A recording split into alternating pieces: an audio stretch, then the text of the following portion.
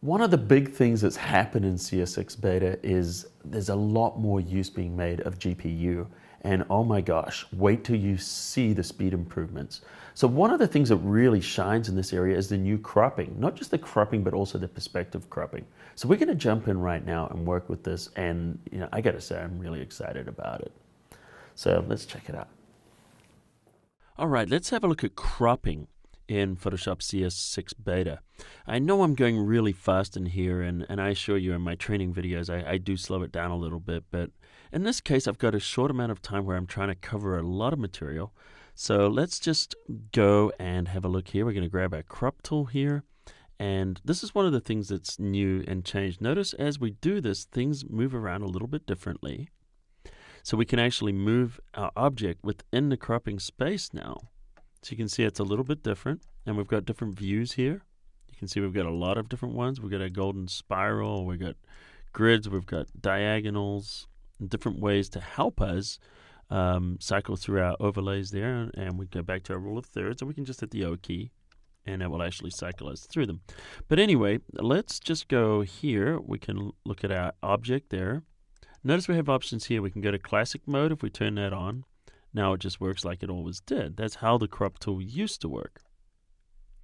Now we turn it off, and we've got this really, really neat way of working. Let me zoom in a little bit because uh, I feel like I, it, you know, squeezing my image right into the middle there. So we can pull that down, and then we can move our image to exactly how we want. And you can see that it's kind of neat. We can also rotate it, and you can see immediately what you're going to get so it's it's really kind of neat. And then we have the option here where we can delete the crop pixels. We can turn it on or off.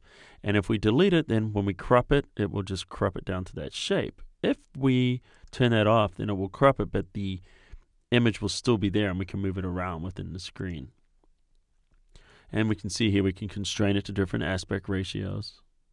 So I'm just going to hit the escape key and get out of here. Let me just escape. There we go. And now I'm going to show you another option, which is the perspective crop tool. Now, this one is crazy. It's a lot of fun. So let's start from the corner here. We're going to drag it out here. And what I'm going to do is, let's just go around this window. And we're going to grab a perspective here. So what we're going to do is just follow the bricks. And then we're going to click there and maybe move this one down a little bit. Give it a little more space. Let's move it down to the bottom of that one brick. And what we can do is we can use this to straighten our photographs. Now just make sure that you follow these on a straight line. And I'm just going to put that one about there.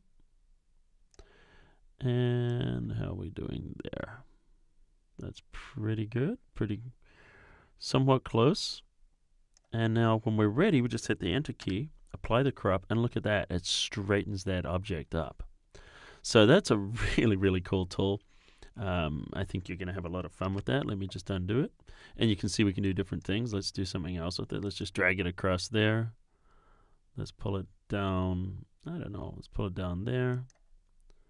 Just to kind of show you a slightly. And notice that the perspective goes away this way and it goes that way. Hit enter. And there we go, we've got that object. So you can see it's a really neat tool.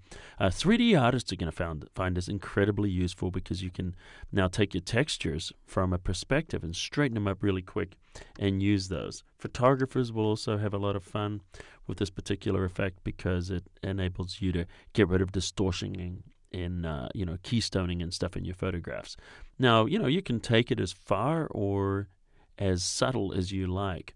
Um, but anyway, that's the new crop tools and uh, I certainly enjoy them.